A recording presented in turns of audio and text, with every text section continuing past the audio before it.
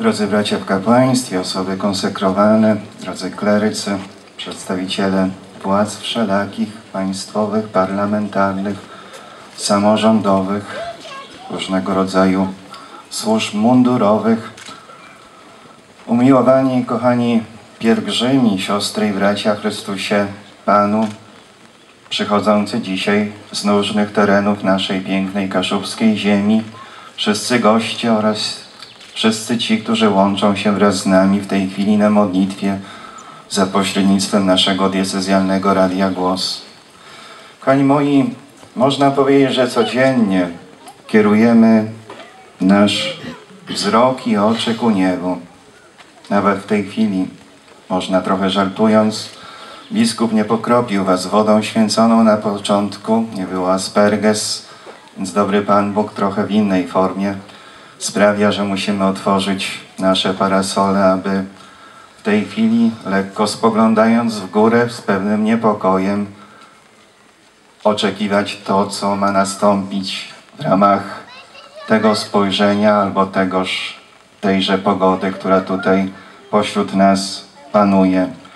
Ale pewnie te nasze spojrzenia nie tylko są w tej chwili w stronę nieba, czy też w czasie pielgrzymki, którą żeśmy odbywali, w tych pewnie trudniejszych warunkach, w tę stronę, w stronę naszego sanktuarium we wielu, ale też codziennie, kiedy nawet wstajemy w domach naszych, kiedy mamy zamiar udać się do pracy czy też do szkoły, nasz wzrok bardzo często wychyla się za okno, by sprawdzić temperaturę, by zobaczyć, jakie dzisiaj jest niebo, a tym samym trochę w pewnym sensie, jakie może być ciśnienie, nasze serce i nasze wzajemne relacje i emocje. Ku niebu wznosimy, można, się, można powiedzieć, nieustannie. Nie tylko nasz wzrok, czasami również i nasze ciała przy pomocy samolotów, różnego rodzaju lotni, balonów, czy dalej głębiej, chociaż nie jest to nam w większości dane pojazdów kosmicznych. W niebie też bardzo często mówimy, że natchnienia szukają poeci, malarze, pisarze. O niebie liczne przysłowia nasze przypominają nam i mówią, iż droga do nieba trawą nie zarośnie, tylko ją ludzie grzechami zawalają. Kto chce nieba, cierpieć trzeba, kto chce chleba, pracować trzeba. Człowiek, kochani moi, tęskni mniej lub bardziej. Tęskni za pełnym i pewnym w życiu szczęściem. I czasami już tu na ziemi ma okazję, szansę, może nie zawsze, ale czasami mówimy, iż kiedy nam się coś udaje i cieszymy się, jakbyśmy byli w siódmym niebie, doświadczając wielkiej radości. Ale mamy też świadomość, że na ziemi naszej, w czasie naszego pielgrzymowania bywa różnie. Że nasza droga dopiero wiedzie do nieba, do życia wiecznego. Że niejednokrotnie, tak jak Chrystus, kiedy tutaj przy tej kaplicy w ramach stacji przy, trzecim, przy upadku Jezusa Chrystusa, w ramach tej trzeciej kaplicy, jesteśmy zgromadzeni, mamy świadomość, że i w życiu naszym niejednokrotnie upadamy, że często doświadczamy nie tylko kropli deszczu, ale i łez. Doświadczamy tego każdy z nas na różny sposób osobiście, poprzez cierpienie, doświadczenia, problemy życia, różne słabości nasze, czy też problemy związane z pracą, czy jej brakiem. Ale kochani moi, kiedy tak myślę o niebie, kiedy zastanawiam się, czasami myślę, z jakim uczuciem przyjąłbym wiadomość, że w moim życiu pozostał li tylko jeden dzień, że jest to mój dzień ostatni mojego pielgrzymowania.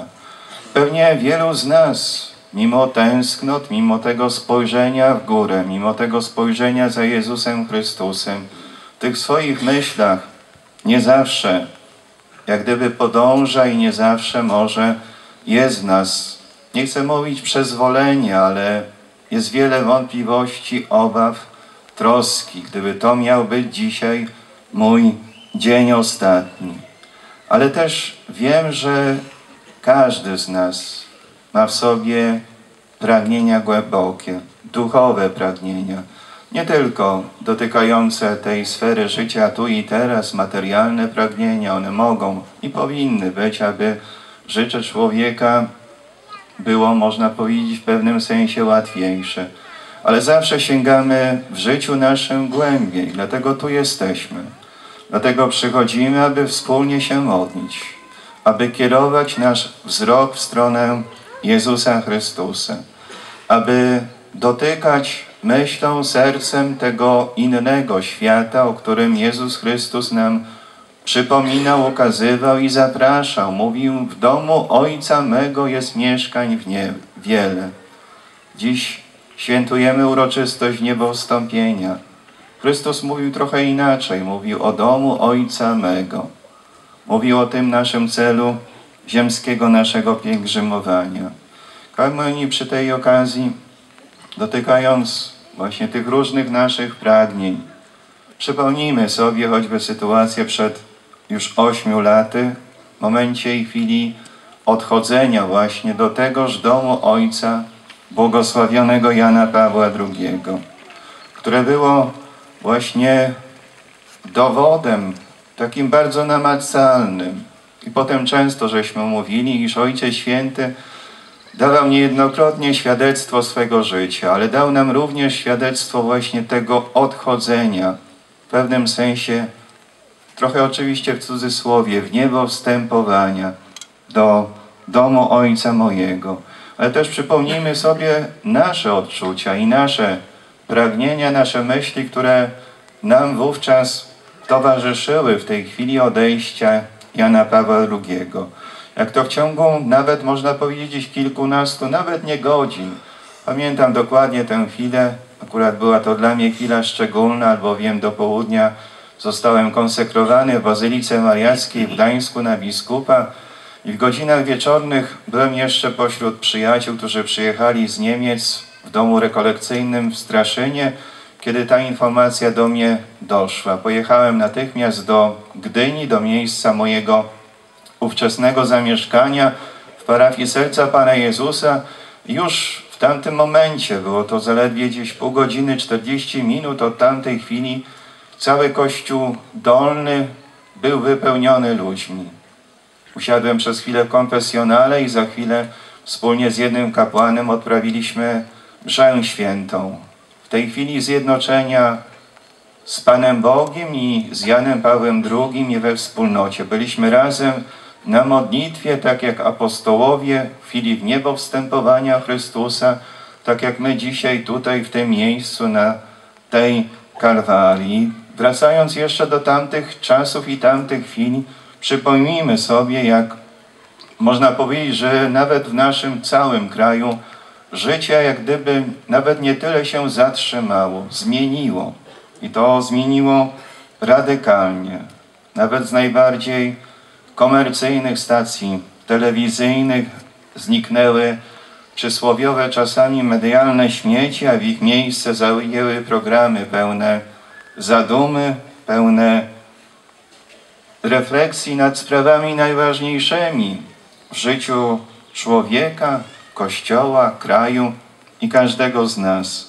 Albowiem w zmarłym Ojcu Świętym widzieliśmy kogoś, kto był zupełnie inny niż znane nam różne postacie życia, czy to publicznego, czy medialnego, czy innego.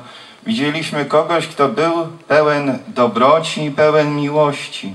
Dlatego ten dramat, w pewnym sensie dramat, patrząc po ludzku oczywiście, dramat rozstania z nim, z kimś tak ważnym i tak bliskim, zbliżył nas wzajemnie do siebie. Pokazał nam, że duchowa, właśnie życie tkwi, tak powiem, w tej duchowej mocy, w zjednoczeniu, na modlitwie, w zjednoczeniu wzajemnym ze sobą. Okazało się, że możemy być przynajmniej przez jakiś czas lepsi, możemy żyć zupełnie w innym świecie, lepszym świecie. Kochani moi, teraz kiedy upłynęło już 8 lat od tamtych wydarzeń, można by znowu podjąć refleksję. Zresztą w każdej chwili naszego życia winniśmy podejmować refleksję. Nie tylko, żeby podjąć refleksję, aby z tej refleksji wyciągnąć kolejne wnioski, aby się mobilizować, aby się w życiu wzajemnie motywować. Można by zapytać, czy te nasze pragnienie tamtego czasu zjednoczenia legły dzisiaj w gruzach. A na to pytanie w pewnym sensie daje nam duchowość w niebo wstąpienia. Albowiem zauważmy tamto wydarzenie w życiu apostołów Jezusa Chrystusa zakończyło jakby serię ukazywania się zmartwychwstałego Pana uczniom i musiało być dla nich w tamtej chwili w pewnym sensie po ludzku bolesne, trudne, albowiem zaprzeczało spełnianiu ich ziemskich oczekiwań. Albowiem nawet jak czytamy w dziejach apostolskich, po wniebowstąpieniu apostołowie zamknęli się w wieczerniku z obawy przed Żydami. Ale kochani moi, dobry Pan Bóg ma jakby inne Boże pomysły na nasze życie, na naszą pielgrzymkę do nieba. Pomysły, które przerastają nasze ludzkie oczekiwania. Z jednej strony poprzez zesłanie Ducha Świętego na apostołów, obdarzenie ich darami, Bożymi darami, które pozwalają człowiekowi właśnie realizować Boże pragnienia, duchowe pragnienia. A z drugiej strony Chrystus, mimo że można powiedzieć znikł z oczu apostołów w tej formie widzialnej i ludzkiej, pozostał w sercach apostołów i każdego z nas. Pozostał w sercach i mamy szansę to nasze serce przed Nim otwierać, kiedy w sposób szczególny przyjmujemy Go w sakramentach świętych, w sakramencie pojednania i w sakramencie Eucharystii.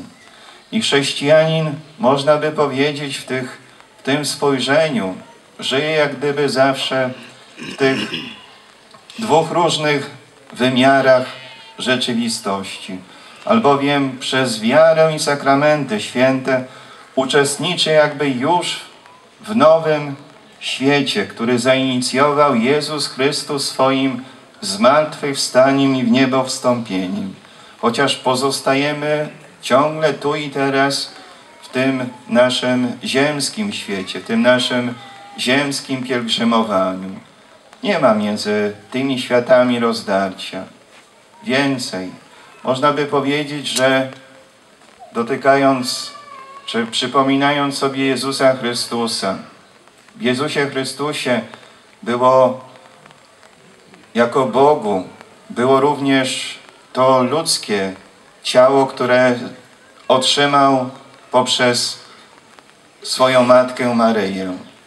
I w jego życiu, w tym odchodzeniu do domu Ojca, poprzez to w niebo wstąpienie, on niejako zaniósł do Boga zarówno to Boże ciało, jak i to ludzkie ciało. W naszym życiu jest trochę odwrotnie.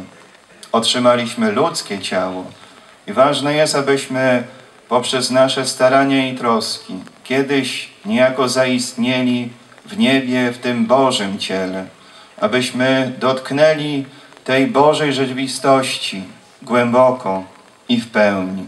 Dlatego tu jesteśmy, aby nabierać mocy i ducha, aby nie tylko wpatrywać się w Jezusa Chrystusa, który w niebo wstępuje, ale aby przyjmować Go i tym samym przemieniać w sobie, w naszym życiu, aby tak jak przypomina na ten dzisiaj napis, zawrzeć przymierze z Jezusem Chrystusem poprzez przyjaźń, aby tym samym dawać w życiu swoim świadectwo, świadectwo wiary, życia i miłości.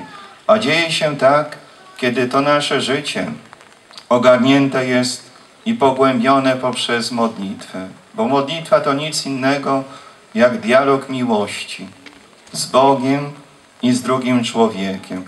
To czas i miejsce, wokół którego w sercu swoim tworzę jak gdyby kawałek nieba. przestrzenie, które pozwalają mi głębiej w życiu moim w codzienności oddychać. Bo tyle jest, kochani moi, wokół nas do zrobienia, aby właśnie dawać to świadectwo wiary i miłości, komuś kom pomóc, z kimś porozmawiać, a przede wszystkim tych naszych codziennych obowiązkach, których Pan Bóg nas postawił, aby dobrze i sumiennie, z radością, optymizmem je spełniać. Bo jeżeli jako chrześcijanie bylibyśmy li tylko zapatrzeni w niebo, to i niektórzy tak próbują nas właśnie podpuszczać i ukazywać, że chrześcijanin to człowiek, który patrzy w niebie, jakby zapominał o tej swojej codzienności, co wcale nie jest prawdą, bo my pamiętamy o słowach Pana Boga, czyńcie sobie ziemię poddaną. I dlatego staramy się w tych naszych obowiązkach i społecznych, i domowych, i rodzinnych, aby naszą wiarę niejako umacniać, aby dzielić się nią, aby wzrastać w miłości i w tej relacji Bożej przyjaźni wzajemnie wobec Boga i drugiego człowieka. A tyle jest w nas, kochani moi, w życiu społecznym i nie tylko do zdrowienia. Każdy z nas w tych miejscach, w którym Pan Bóg go postawił, potrzebuje Bożego wsparcia, aby był po prostu dobrym człowiekiem. Żeby lekarz był dobrym człowiekiem i sędzia, i adwokat, i nauczyciel, i polityk, i malarz, i elektryk, i ksiądz, i rolnik, i kierowca, i przedsiębiorca. Bo dobry człowiek wokół siebie buduje niebo, tworzy klimat nieba. Zły człowiek, chociaż Pan Bóg takiego nie stworzył, ale ten, który wybiera zło, choćby był najlepszym fachowcem w swojej dziedzinie, będzie wokół siebie niestety siał najczęściej zamęt. Dlatego tak ważne jest, abyśmy na tych miejscach naszego życia, gdzie Pan Bóg nas postawił, umieli czynić dobro, umieli świadczyć o Jezusie Chrystusie. I chrześcijanin powinien być w tych miejscach widoczny. Nie może się ukrywać. Nie możemy być li tylko wyznawcami Jezusa Chrystusa z metryki, ale przede wszystkim z czynu, dobrego czynu. Dlatego winniśmy starać się, aby to nasze życie było rzeczywiście Bożym życiem, dobrym życiem. Chciałbym widzieć dobrych chrześcijan w każdym miejscu, zarówno w Sejmie i w rządzie, miejsca, których spełniają swoją posługę prawnicy, prawnicy i pedagodzy, wśród inżynierów i humanistów, wśród aktorów i architektów, w mediach i środkach masowego przekazu i w codziennym naszym życiu, albowiem wiele jest do zrobienia w ojczyźnie naszym, naszej, w życiu naszym i w Kościele, abyśmy mogli z ufnością patrzeć w niebo, a równocześnie czuć się na ziemi dobrze, bo ona jest naszą drogą do nieba. Kochani moi, zgromadziliśmy się dzisiaj w tej pięknej Wielewskiej Kalwarii w imię Boże, w imię Jezusa. I wierzymy mocno, że On jest z nami dzisiaj tutaj obecny, prawdziwie, chociaż w tej formie tak trudnej. Jak mówię, jest obecny, może być obecny przede wszystkim w naszym sercu i w tej wspólnocie, która nas gromadzi. Prośmy Go dzisiaj, aby dopomógł nam odważnie iść drogą do nieba, abyśmy nie błądzili, abyśmy nie schodzili na bezdroża i manowce grzechu. Błagajmy Go, aby był z nami, On jest z nami, ale byśmy tę Jego pomoc przyjmowali, abyśmy umieli i potrafili żyć według Bożych zasad i Bożych praw, umieli nieustannie wiarę praktykować i tą wiarę, wiarą żyć. Bądź z nami, Panie, kiedy siły nasze osłabną, a do naszego serca skradnie się zwątpienie i zniechęcenie. Bądź z nami, Panie, abyśmy umieli i potrafili dawać świadectwo słowem i czynem. Zwłaszcza dzisiaj, gdy tak dość często bezpardonowo atakuje się małżeństwo,